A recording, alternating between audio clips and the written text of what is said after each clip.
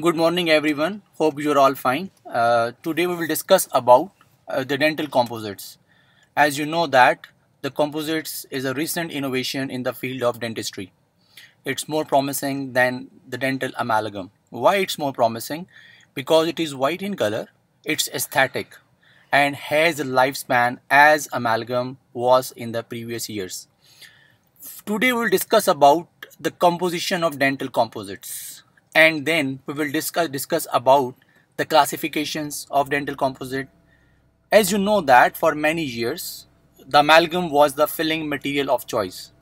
Although amalgam is the most used material in the clinics because it was easily available material it was cheap and has provided many years of outstanding clinical service. What do you mean by outstanding clinical service? Because the people were thinking that amalgam has a long lifespan.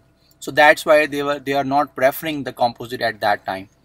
Since there has been a trend in recent years toward tooth color restorations with dental composites. So let's get started guys. This lecture explains the most important developments in resin based dental composites. And then we will see how the composite transformed in recent years. And then we'll understand the various comp components of the composition in order to apply the knowledge in various day-to-day -day clinical situations. How and why these materials were improved and to be used as tooth-colored restorative materials. We will discuss all these things today. From the evolution of resin matrix and their clinical implications and the advancements in filler technology and focusing on the deficits, for example, the polymerization shrinkage. Moreover, moreover, classification systems and the difference between composite categories. The types of the composites like the hybrid ones, the nanohybrid ones, the microfilled ones, the packables and the flowable ones, especially in view of their mechanical behavior, how they perform in the clinics, and we will analyze their overall properties. What are composites? The definition of the composite is just a multi-phase material. It means it is not a single phase material. It has three different phases. The one is the matrix phase, the second one is the filler phase, and then the joining thing is silane coupling agent. Combination of two materials with different physical and chemical properties when they come together to form a composite material. Such as calcium and phosphate minerals when they combined with organic components such as collagen. Enamel is, is a hard but brittle and is supported by more resilient dentine. It's also a composite. So tooth is a composite because it consists of enamel and the dentine.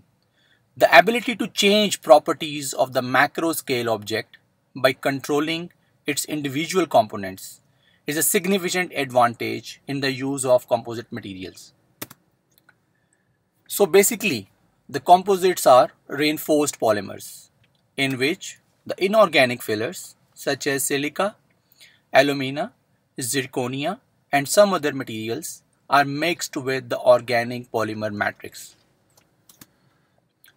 So guys looking at this wall, you can easily evaluate it's a composite basically. Let me give, give me an opportunity to explain the very basic interaction between the matrix and the fillers in a composite system.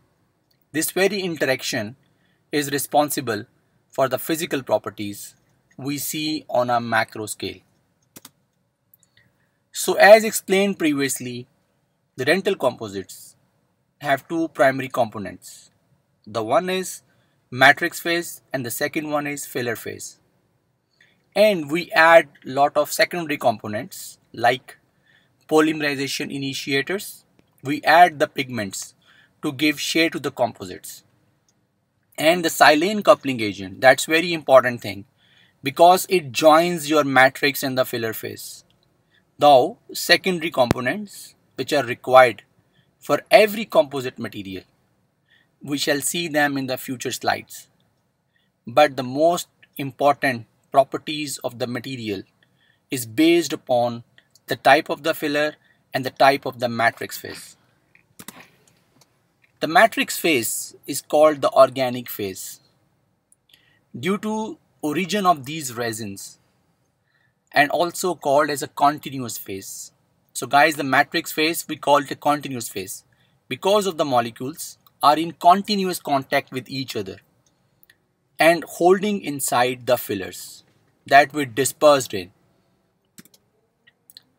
This matrix phase is a highly viscous liquid that has the properties of adhesion, while the glass particles in filler phase are mostly responsible for the physical, mechanical and optical properties. So the dental composites are the combination of filler and matrix. Okay, thank you Dr. Zahir for the basic introduction of the dental composites. So you guys must have understand what led to the development of the dental composites. Okay, let's start off with the history and background of these materials by looking at the efforts made during the evolution of tooth colored restorative materials, which will enable us to understand the physiochemical properties in a better way. So the first tooth colored restorative material was introduced was the silicate cements and uh, have been used for anterior and posterior restorations and has some drawback in their physical properties that were weak. And the silicate cements needed to be placed in one moment cause increment placement was not an option. These cements were resulted from reactions of phosphoric acid with acid soluble glass particles to form a silica gel matrix and containing the residual glass particles. These cements were brittle, required mechanical retention, and had an average longevity of few years. The solubility problem of silicate cements led to the introduction of unfilled acrylic systems based on polymethyl methacrylate. These materials could have been classified as composites because upon mixing, the polymer powder form a dispersed phase and the monomer polymerized to form a continuous phase. The polymerization was initiated at a room temperature using the combination of benzoyl peroxide and the tertiary amines. Although these materials were initially aesthetic, but soon they were plagued with variety of problems such as poor color stability, high polymerization shrinkage, lack of bonding to the tooth structure, and a large coefficient of thermal expansion. Methyl methacrylate monomer contracted excessively during polymerization, permitting the marginal leakage and secondary caries. Also, PMMA was not strong enough to support the occlusal loads. So then, the reinforcing ceramic fillers, principally containing silica, were added to the composition. These composites have improved the mechanical properties and good aesthetics, but they did not bond to the tooth structure and still exhibit significant polymerization shrinkage caused by methyl methacrylate monomer. And in addition, there was no significant bonding between the silica particles and the polymer matrix. So previously, the filler remained unbonded in matrix, leading to the wear resistance, as you can see in the picture. As the particle easily dislodge from the matrix during function, to solve this problem, the silane coupling agent was then developed to keep the filler matrix and improving mechanical wear and the wear properties overall. The new improved formulation incorporated a coupling agent such as G-meth propyl trimethoxysilane. I hope it's very difficult for you to understand in the first go. Or vinyl triethoxysilane. This is a coupling agent. To make it simple, at one end it chemically bonds with the filler and on the other end it's chemically bond by the resin matrix, hence providing a chemical bond. The chemical bond formed between the resin fillers and the resin matrix. The resulting composite have improved mechanical properties and wear resistance. However, the polymerization shrinkage and lack of bonding to tooth structure limited the clinical success of these formulation. So here comes the two bad properties. One is the polymerization shrinkage and the second one is lack of bonding. The major drawback of the shrinkage was due to methacrylate monomer itself, a monofunctional monomer. The low molecular weight of methacrylate monomer come together and forms a covalent bond during the curing process and the molecules further come together leading to the overall shrinkage. Addition of fillers though improved some of the physical aspects but shrinkage remained the major drawback yet. One way to address the polymerization shrinkage is to use a high molecular weight monomer rather than a low molecular weight with monofunctional properties, in which the shrinkage is huge. As we know in the previous talk about the bonding, the acid etching method was already been introduced by Buonocore in the 1960s in the race to develop a perfect monomer, a di, tri, or a polyfunctional monomer. In 1962, Bowen, while at the National Bureau of Standards, synthesized an acrylated epoxy using glycidyl methacrylate and bisphenol A. This was an epoxy resin for use as a matrix for dental composites. The resulting monomer, called BisGMA or Bowen's resin, possessed the viscosity of a honey on a cold day. He was also pioneered for the first generation of bonding agent containing N-phenyl glycidyl, glycidyl methacrylate, which we already discussed in the previous section of adhesion. BisGMA or Bowen resin possess the viscosity of honey and therefore there is a limit of the amount of filler particles that can be added without affecting its handling properties, as it can be illustrated in the slide. As the larger molecules of matrix are not allowing more fillers to be packed, the stronger van der Waal interaction among the bis GMA molecules creating a virtual gaps. So there becomes a need to decrease the viscosity of the monomer so that more fillers can be added to the matrix via low molecular weight monomers. So research, so research then started for a low molecular weight monomer to minimize the viscosity and to increase the filler load.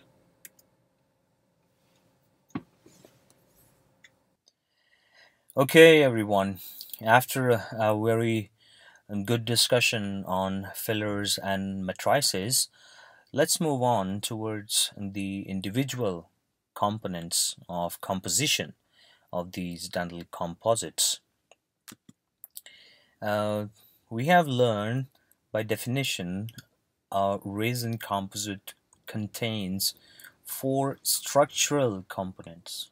Its structure is made up of basically four fundamental units and these are uh, the polymer matrix which holds the filler particles and these filler particles are interacting with the polymer matrix with the help of a coupling agent which is a silane coupling agent and an initiator is required to initiate the polymerization. So uh, these are the basic components of a composite system. So how they are embedded in, you can uh, visualize in this animation. Some other additives are also subjected to the type of composite is being used, uh, such as uh, dual cure needs an inhibitor as well. Why?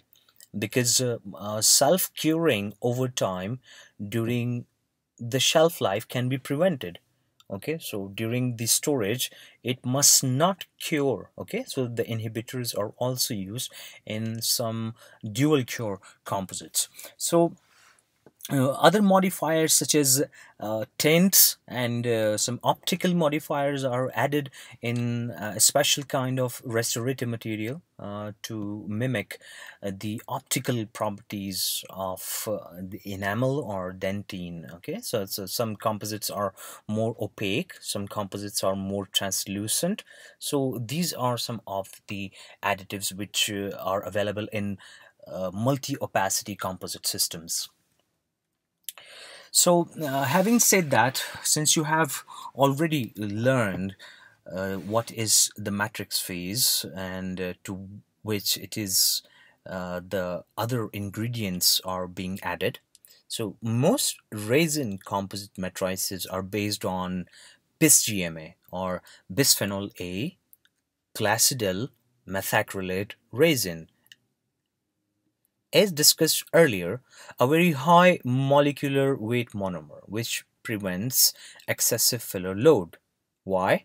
Because uh, there is an interaction between between each molecule and they are interacting with van der Waals forces and virtually there is no space in between uh, to add any other more filler so some composites are using UDMA or urethane dimethacrylate instead of bis-GMA uh, is used to increase the filler load. So because of the low molecular weight is allowing uh, to add more fillers while many other manufacturers are now using uh, a combination of these two. Uh, because of large uh, molecular volume of these monomers, uh, polymerization shrinkage can be as low as 0.9%. Uh, some manufacturers have added a portion of uh, TEG DMA or triethylene glycol dimethacrylate. It's a low viscosity resin and it is used as a diluent such as using in flowable composites. We shall discuss it later. Formulation of material that uses bis-EMA or bisphenol A, polyethylene glycol, diether dimethacrylate or oxy-bis-methacrylate monomers that will cyclopolymerize the chain-like molecules.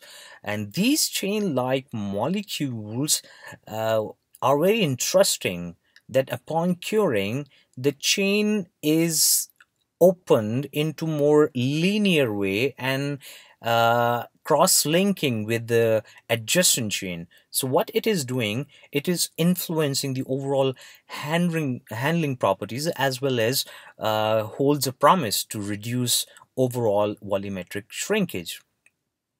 Uh, two additional proper, uh, proprietary monomers have been introduced uh, in bulk fill 1 by 3M Corporation.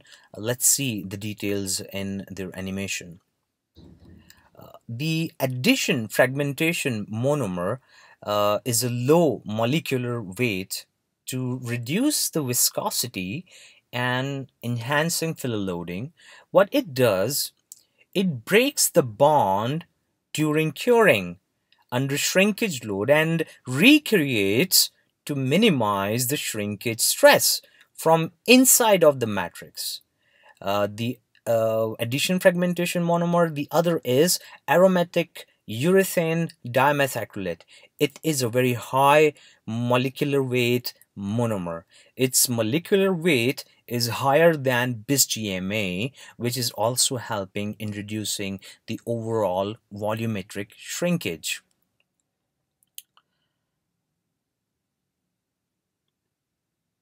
So from the filler's perspective, these particles are usually a type of glass such as barium or borosilicate glass, uh, zirconium, aluminum oxide, silicon oxide are added to the matrix. Uh, the greater the percentage of fillers by volume or by weight, the better the physical properties of a composite. However, filler loading has an upper limit after which the material becomes too viscous for a clinical use. Uh, the types of fillers will be discussed during the classification section. So the fillers are added to improve its physical properties and the list explains the effects of fillers on the composite system. Uh, the fillers are reducing the coefficient of thermal expansion so there is no change during uh, the change in temperature in the oral cavity what it is also doing the addition of fillers is also reducing the polymerization shrinkage of the composite and making the material more harder denser and more resistant to wear. Uh, the filler improves translucency to mimic the natural enamel optical properties. Again, the greater the percentage of filler added by volume or by weight, the better the physical properties of a composite system. As previously discussed, uh, the filler particles are inorganic and cannot be bonded to the matrix phase. Therefore, filler particles are coated with silane the vinyl triethoxysilane, uh, it is essential that filler particles be bonded to the matrix. Otherwise, they will dislodge from the matrix. So this allows the more flexible polymer matrix to transfer the stresses to these filler particles. And this chemical bond between the two phases of the composite is formed by this coupling agent which is a fundamental uh, unit of the constituent of the composite system. So uh, according to the activators and initiators uh, we see a chemically activated composite or a light activated composite. So uh, these agents activate the polymerization of composites. So initiator varies with the type of composite whether it is a light cure or it's a chemically cured. The chemically cured resin uh, or the chemically cured composites are supplied as two paste systems, one of which contains the benzoyl peroxide initiator, uh, which initiates the polymerization reaction by activating uh, the aromatic tertiary amines by releasing the free radicals. Uh, the light curable dental composites are supplied as a single paste system contained in a light-proof syringe. Exposure to the light in the blue region, a wavelength of about 468 nanometers, produces an excited state of the photoactivator. Uh, remember, we are using an a separate initiator in that which is a benzoyl peroxide. But in photoactivated composites we are using a photoactivator which is activated at particular wavelength of the light which is 468 and at this wavelength the photoactivator uh, releases the free radicals and initiates the addition polymerization and the most common photoinitiator is used as camphorquinone although there are some others we will see in the future slides uh, there has been a number of classification systems proposed to describe composite restorative materials. One of the most often uh, used classification system is based upon filler particle size uh, as composite restoratives have evolved, the size of the filler particles and their size distribution have been changed in an attempt to achieve the best possible mechanical properties while maintaining the statics because this is why uh, these materials were developed. Composites uh, generally are classified with respect to the components, amounts, and properties of their fillers or matrices phase, or by their handling properties. The most common classification method is based on the filler content by weight or by volume percent, uh, filler particle size, and the method of filler addition. Composites are also could be defined on the basis of the matrix composition. Uh, is it contain a BISGMA or UDMA or we can describe by polymerization method. Is it a self-curing composite, a UV light curing composite? Is it a visible light curing composite or is it a dual curing composite? Okay. Uh, almost all the important properties of composites are improved by using higher filler levels and we have already discussed that. The only practical problem is that as uh, the filler level is increased, we saw that the fluidity of the material is decreased and it's uh, not good for a clinical use. So highly filled compositions typically contain large filler particles but this composition results in a rough finish surface. Smaller filler particles are used to guarantee that composites have a relatively smooth surface finish.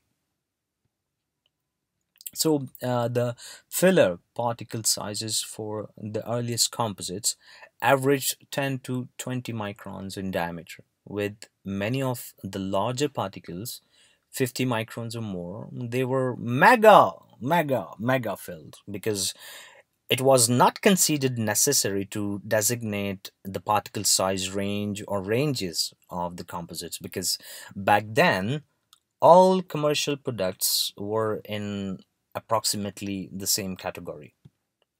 So because of the early uh, filler particles were relatively gigantic, large, the composites based on those large fillers uh, became known as macrofills. So the composite filler particles are considered macrofillers if the range is between 10 to 100 microns. They will be considered as midi fillers if the range is between 1 to 10 microns. Uh, they could be called as mini fillers if the range is between 0.1 to 1 micron. The microfillers contain the particle size of 0.01 to 0.1 microns. On the nanoscale, which are the true nanoscale, the particle size ranges from 0.001 to 0.01 microns.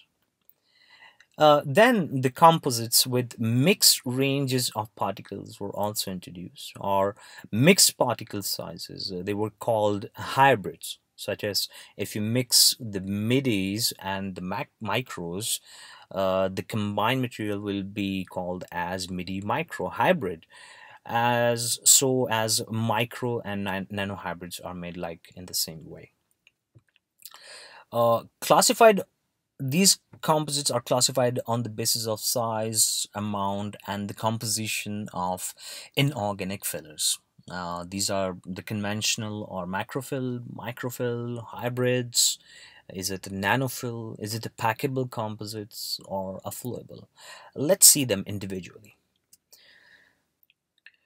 So uh, average particle size of these conventional uh, composites, uh, uh these macrofill composites, is from uh, 5 to 25 microns.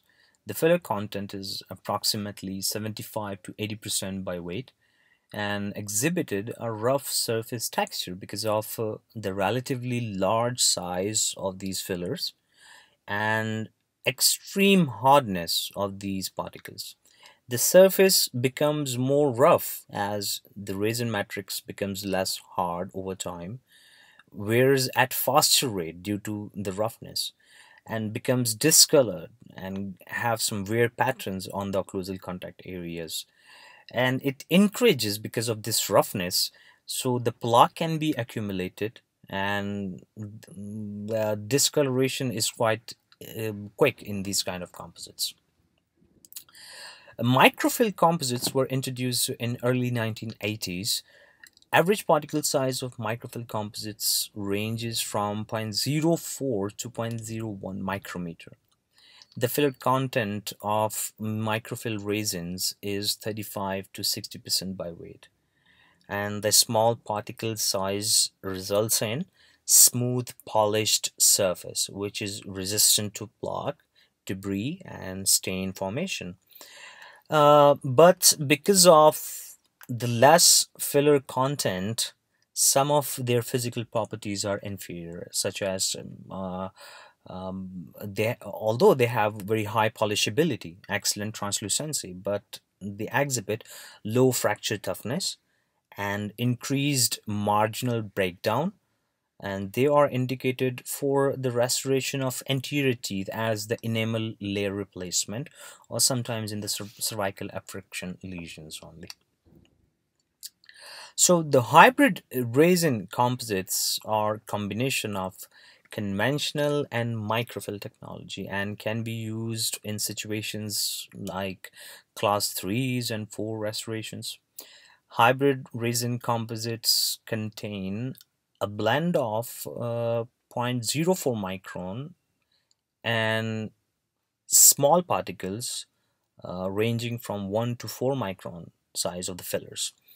The combination of medium and small fillers allow the highest level of filler loading among resin composites and a relative improvement in physical properties. They can be polished, but not as lustrous uh, as microfill composites. The high filler content also improving resistance to internal discoloration. Uh, in the nanofilled particles scale, all the particles are of true nano size, okay, and they are in nanometer range. There are several purposes for incorporating nanofillers in dental composites. First, the size of nanomeric particles is below the visible light. It is below the visible light and our visible light is falling in the wavelength between 400 to 800 millimeters. So when these particles size are so small, smaller than the visible light, uh, it providing the opportunity to create a highly translucent material okay? So this is the advantage of the nanofillers we discussed about the packable composites and or the condensable composites uh, they were developed by adjusting their filler distribution and to increase the strength and stiffness of the uncured material and provide a consistency and handling characteristics uh, similar to those of a lathe cut amalgam. Okay? So you feel uh, like that you are filling an amalgam.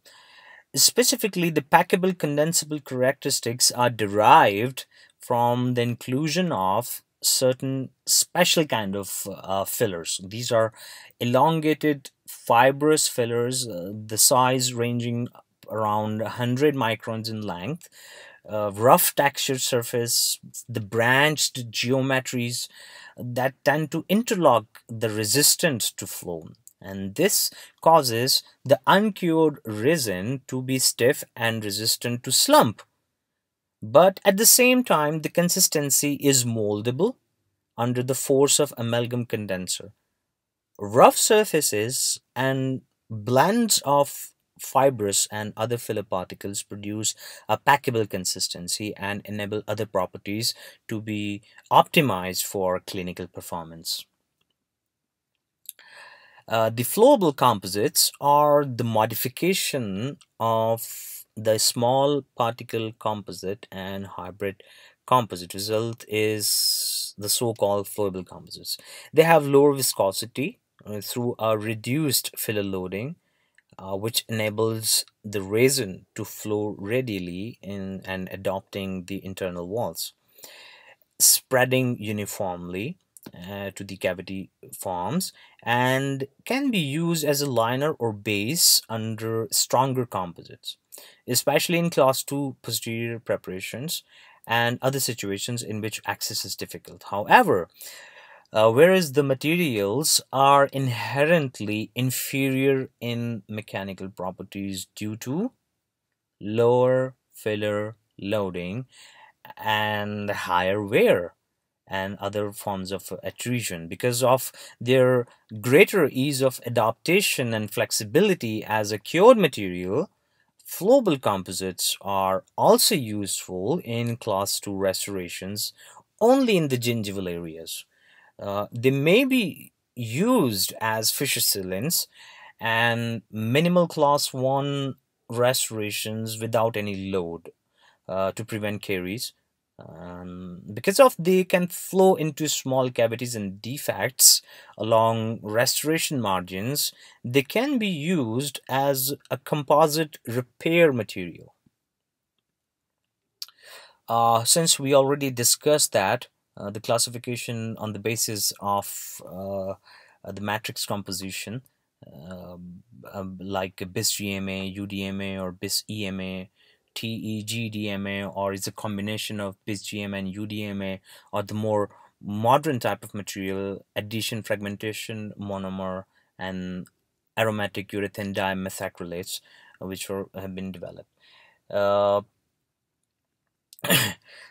the classification according to the curing method uh, which uses uh, self-curing uh, two-paste system or uh, curing by light curing by ultraviolet or curing by visible light. Or uh, some materials can be dual cure. Uh, if you don't cure with the light they have the tendency of self-curing. But if you give the light source to excite the photoinitiator in the same dual cure system uh, the setting reaction is fast. Um, Chemically activated resins, as discussed previously, uh, are supplied as two pastes, one of which contains a benzoyl peroxide initiator and the other uh, the tertiary amine activator. Uh, when these two pastes are mixed together, the amine reacts with the peroxides to form a free radical and addition polymerization begins. One problem with this method is that during mixing, it is almost impossible to avoid incorporating air into the mix, thereby forming pores that weakens the structure and also trapping oxygen inside, which inhibits the polymerization during curing. Another problem is that the operator has no control over the working time after the two components have been mixed together. So uh, to overcome the problems of chemical activation, uh, manufacturers have developed resins that do not require mixing uh, by using photosensitive initiator systems and a light source for activation. The first light-activated system were formulated for ultraviolet light to initiate free radicals. Uh, this spectrum is far more energetic than visible light as well as harmful.